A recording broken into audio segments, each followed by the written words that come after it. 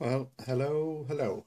So uh, I've got a power supply from Corsair called RM650 and it comes with these flat cables and I find them very very annoying to work with and I actually hate these cables.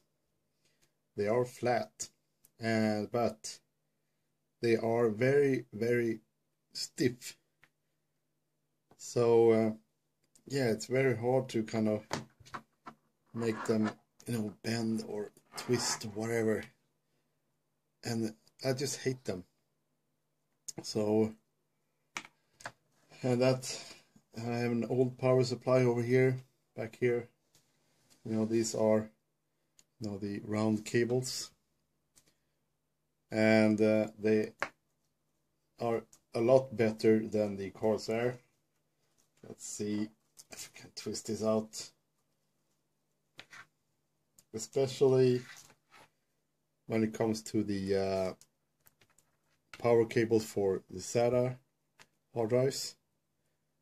Uh, I don't have a SATA cable from the Corsair here, but uh, it, uh, the Corsair cable actually it's different because uh, the the contact itself is kind of the same, but the cable is kind of going like this,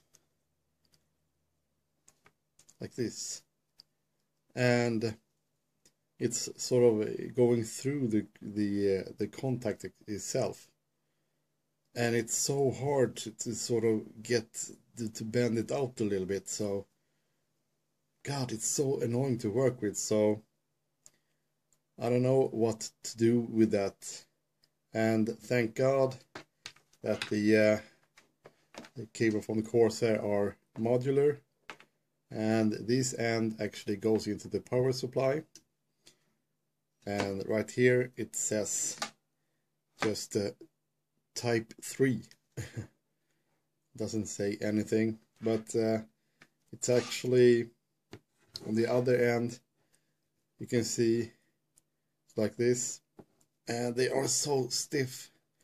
God.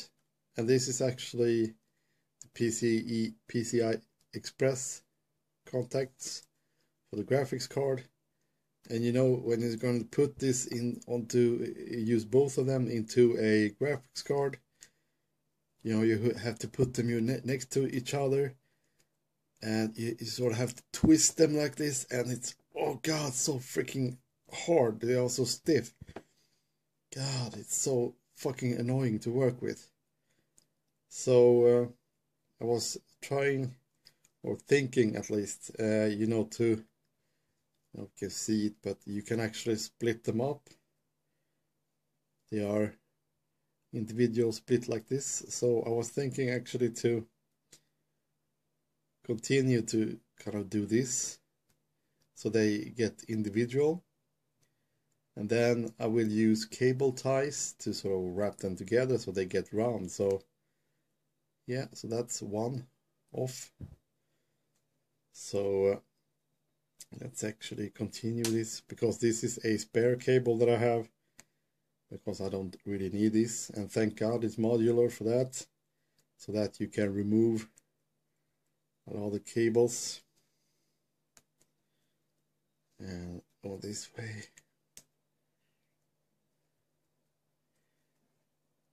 Because this is the worst cables ever. So I understand some PC builders that they actually buy custom cables for these that are individually sleeved and they have a special I don't know not tool but they have a, a special bridge or whatever that keeps them straight. But they are so much easier to work with. Okay so now they are kind of split up into different sort of uh, cables. Let's see I forgot to take this. So the next thing I will use, working behind the camera here, these uh, cable ties. And I might use, we call them in Sweden kind of zippers, because when you put them together it sounds like zip. So what you do is that you bring them kind of back together. They will get a little bit round, you know.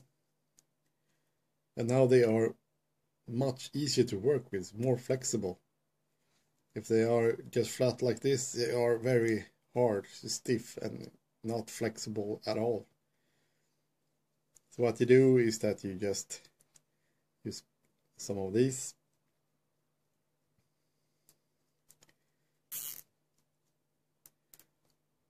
I'm just testing for this right now. I'm not going to pull it too hard, but just bring them back together.